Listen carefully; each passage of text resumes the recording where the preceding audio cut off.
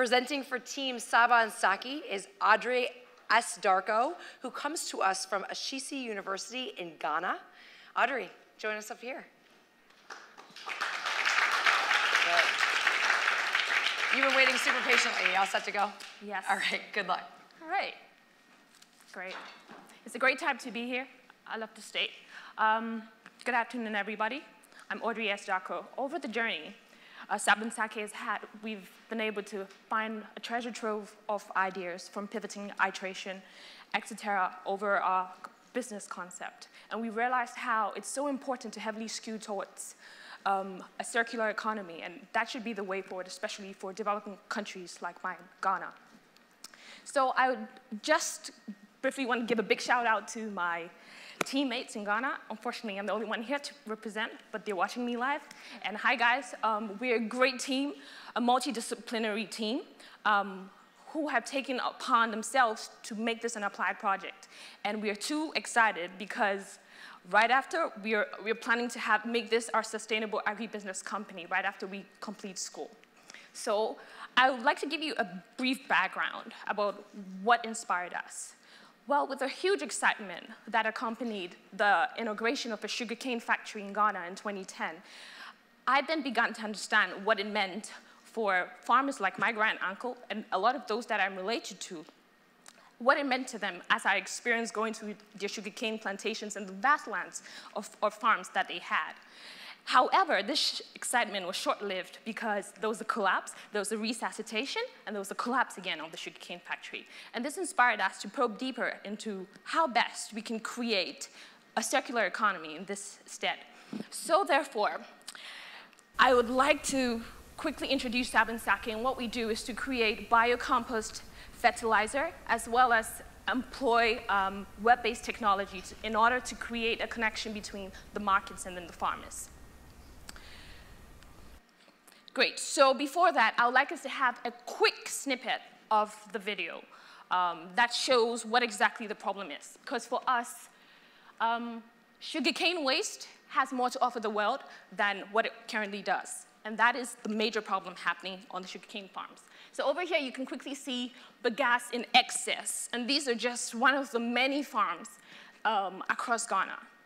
So this is bagasse in uh, lots of farmlands and so on. So I would like to pause the video, but then in a nutshell,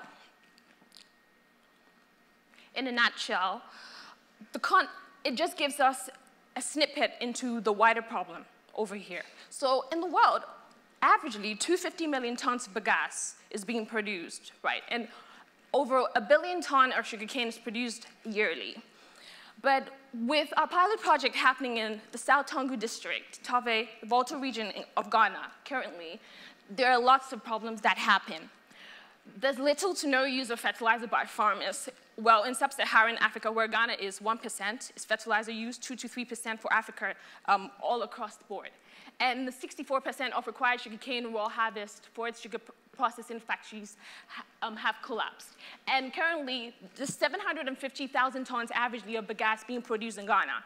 And just to show you what the linear economy is currently, in the video, there mass, there's mass burning of all these tons of bagasse across the 192 cane districts um, over the 200, total 216 districts in Ghana. So this is what's happening across Ghana, and it's being replicated in other developing economies across board, Kenya, etc.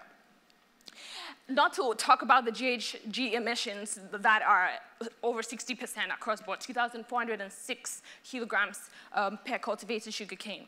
So basically what we realized was there's a problem um, there are two major problems that we identified based on ethnographic research, observation, etc. And that was low crop yield and inaccessible markets. To give you a nutshell of that, currently there are only 700 rural fertilizer agents for um, an excess of 200,000 rural cane farmers, not to talk of other farmers. How does that match up? How can they have access um, and availability of fertilizer in order to increase crop yield and be able to sustain sugarcane factories that collapse because there's no um, supply. inaccessible markets. So the valuable resource lost here is bagasse, and this is land that is being burnt, and this was just about to be burnt when we went there to visit. And that's the linear economy there. So simply, I would like to talk about uh, the inaccessible market and how a solution also solves that. We are working on uh, web-based technology, simply a website, focusing on cooperative farmers. Currently, we have one, that is the Tove Cooperative Farmers, that um, would use the website and have connections um, um, with the market such that before um, the sugarcane waste is gonna be lost, they can, they can allow, they can let the uh, markets know about it, and that would solve the 60% post-harvest loss of sugarcane that's happening in Ghana. So rescuing food, we feel this is an integral part of the circular economy, which should be looked at, and that is our phase two after we um, finish producing our fertilizer. This is a demo of it. Okay, so I'll quickly talk about our biocompost fertilizer. Currently, it's a combination of two methods, simply vermicomposting and microbiology. So vermicomposting uses earthworms, and African earthworms to be precise, and this is indigenous to Africans. What we do is to multiply them in our vermi hatcheries, right? And then they would, with their excellent burying properties, decompose the waste. Bioinoculated bagasse is just making multiplying strains of um, living, natural living organisms, which we currently are, um, are confining and multiplying in the Soil Research Institute of Ghana. So this plus the vermicomposting creates a Sabon Sake fertilizer simply. And it's in a structure that basically employs a modified shipping container as well as solar panels, etc. Probably would see that um, as we go across. So creating the circular economy is making use of this bagasse, um, bioinoculating it in powdered form using natural living organisms, making use of our vermicomposting, worms being multiplied. That decomposes the time to 21 days as compared to three months and over for traditional natural um, composting. And that can help us sustain the factories in the long term.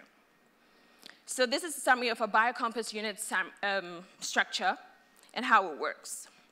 So I'll quickly go into our progress so far. We've been able to secure land for our pilot project in the Tove district of Ghana, and we've been able to secure 3,750 tons of bagasse, which enables us to produce about 27,550 kg fertilizer bags. And also concrete relationships that enable us currently to be able to make use of the Soil Research Institute of Ghana, whereby we are prototyping our first bag of fertilizer. And they would also be able to soil analyze that for us, thankfully. Economic analysis. Well, to create an incentive for farmers to actually give up their bagasse, which they ban and don't have use for, we're giving them as, paying them a 0.068 um, dollar per kilogram of bagasse.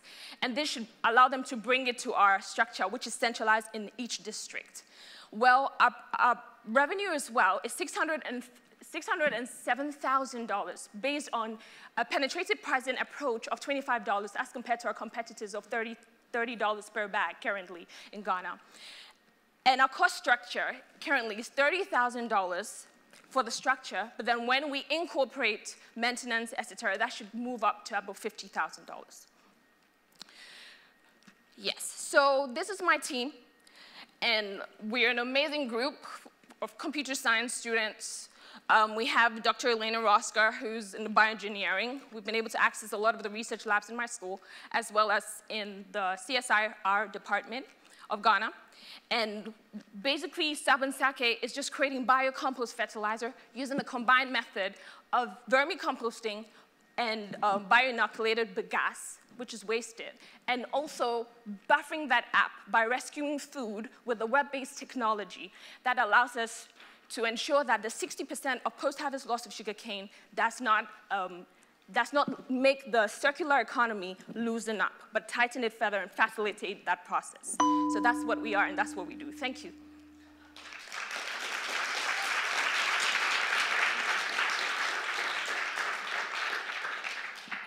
As you know, the judges are gonna do a little deliberation and we get to chat, we get a chance to chat. So you go to a really interesting university. Yes. And this is kind of routine, this sort of problem solving um, there. Is that true? Yes, exactly. So we make use of, so my, I, I call that Ashesi Design Lab my second room. So over there, we have the opportunity to design think and design make. And several projects like this have passed through our lab, whereby we use design thinking principles in order to create great problem solution fits mm-hmm. for problems like this that are pertinent and prevalent in our country, Ghana, and various developing economies. And it gives us a lot of incentive and drive as youth to actually implement feasible and viable solutions to it. Yeah. It's a fascinating process. We do some work at the Johnson Center with um, nonprofit organizations and community programming and using design thinking to solve you know, community and social issues. Exactly. And it's a fascinating way of working. Um, there was something about um, working at the airport at a cafe.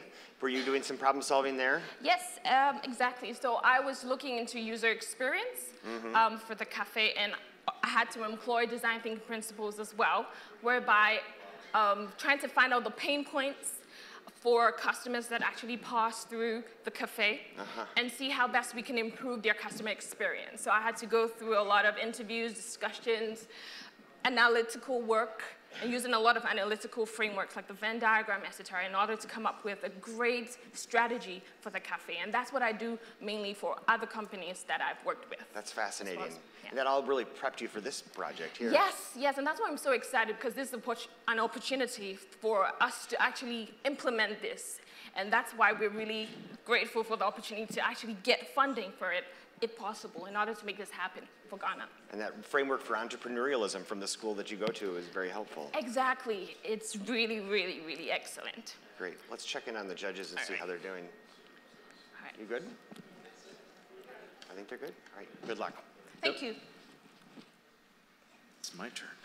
Um, nice job. Thank I you. enjoyed the presentation. Um, it sounds like today that farmers are currently paying zero dollars for fertilizer for sugarcane. Is that is that uh, true? Did I understand that correctly? No. Okay. Educate me. Yeah, I would love, I would love to elaborate on that. Um, so currently, there's little or no fertilizer used. So currently, Ghana has a fertilizer subsidy program, right? That another problem all import, all fertilizer coming to Ghana is 100% imported and inorganic. So what happens is Ghana tries, and it's expensive. So there's little or no use at all, and they try and create, you know, cow dung, things like that, to actually improve their crop yield, etc. But it's really tough and difficult. So what currently happens is Ghana slashes the price down for them.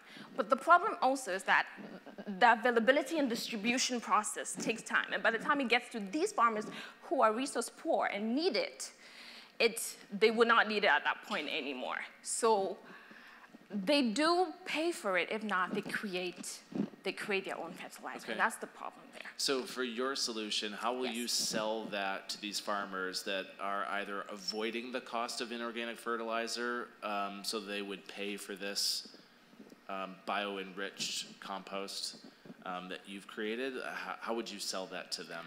Great. So our marketing strategies and I'm very glad to have um, Emmanuel on board to help us with that. So one marketing strategy we looked at based on our research was targeting commercial farmers. So Ghana has a National Farmer Day, and a lot of farmers are judged the best farmers. So they are in dire need of organic fertilizer that enables them reach the standard in order to export and actually commercialize and improve their livelihoods. So that's one way we looked at. And currently we have one farmer who would love to try that. Also in the Brong-Ahafo region of Ghana, what um, farmers are doing because they cannot wait for distribution to get to them is they try and create their own organic fertilizer. So there's a desire for it and there's a willingness to actually employ that process, employ that strategy. So it's, um, they're actually keen on it. And we wouldn't have the Tove farmers on board with us as our first customer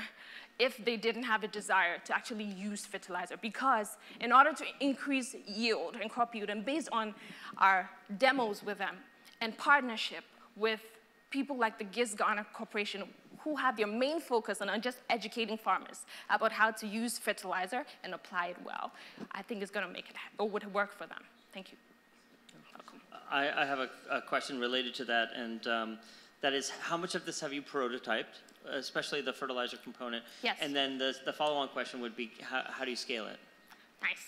Thank you. So currently, we have the opportunity to walk through the Soil Research Institute and Crop Research Institute of Ghana. What we've done currently with securing 3,750 tons of bagasse is having to actually take strains of the natural living organisms, working with our advisor, our bioengineer, and Joshua, who works at the Soil Research Institute. Currently, we've been able to identify unique strains that can be multiplied and created in a sludge form, either in a liquid or powdered form. And that's what we've been doing currently. And also with the earthworms, which are indigenous to Africans, what we're doing is we've created a really small reclaimed box size whereby we've picked out earthworms already and are monitoring them and creating the system whereby they can be multiplied for use. So at the moment, we're just waiting for summer to officially start and then put all that together and then have the Soil Research Institute to analyze the process and then we can start bagging.